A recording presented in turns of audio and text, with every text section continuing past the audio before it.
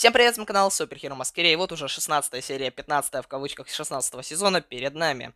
Да, я задолжал вам обзоры на три предыдущие серии, но думаю, вы немного потеряли, а я гонюсь за актуалочкой, ну, раз уже будем делать новости.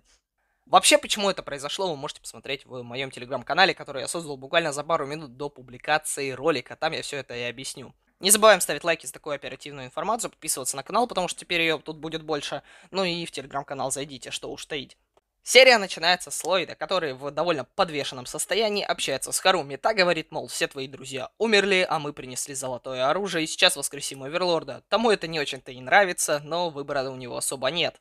После нас переносят в метро, где ниндзя после событий предыдущей серии находится в довольно заложенном состоянии. Они решают, что надо бежать, и, видя отверстие в стене, пробираются туда. Но вдруг крушение, и от смерти их спасает сначала Коу, а потом уже и Ния.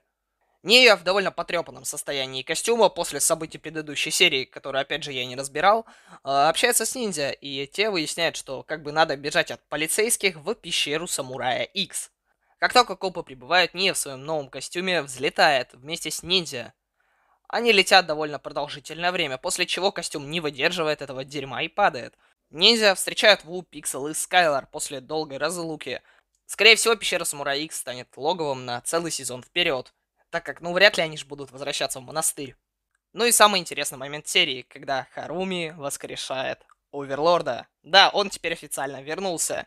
Как бы это дело было еще в 13 серии, когда мы его впервые увидели.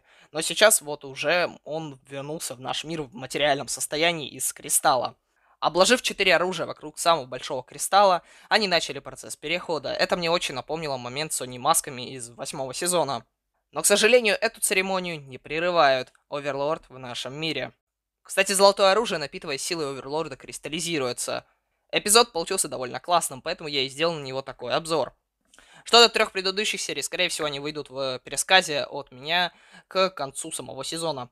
Мы там сделаем полный ролик, в котором все эпизоды будут совмещены.